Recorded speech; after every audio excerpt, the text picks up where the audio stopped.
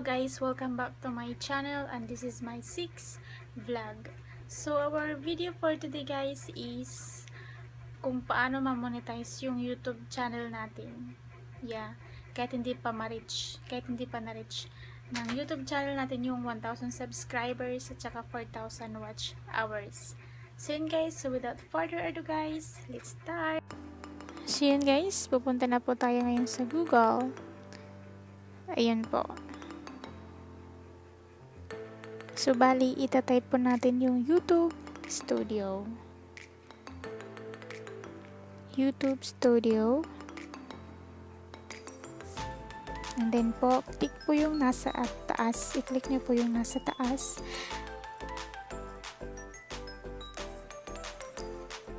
Ayan na po yung YouTube Studio ko.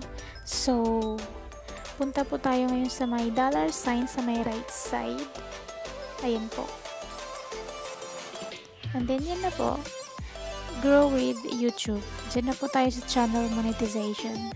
And then, nakikita, uh, hindi pa naman po nagbabago si YouTube ng requirements. So, bali 1,000 subscribers pa, pa lang din po. And then, 4,000 watch hours yung requirements niya. So, sa akin guys, naka-hit na pa ako ng 1,000 subscribers and then 117 watch hours pa lang po ako.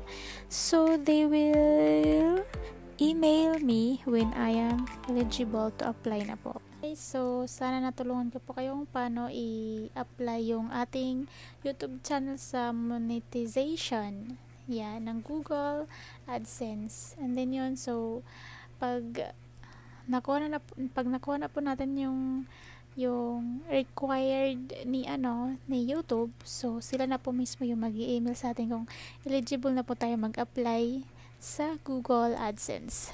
So yun guys. So wala pong iwanan. And then um, keep going lang po tayo. So kaya natin to. So yun. So Um, hanggang dito na lang guys yung video ko. So sana gusto niyo yung video ko and then kung hindi pa kayo nakakapa- nakakapag-subscribe, please subscribe na po and like niyo po yung video na to and then don't forget guys to hit the notification bell para updated po kayo sa aking upcoming videos. So yun guys. So bye guys. Keep safe and thank you.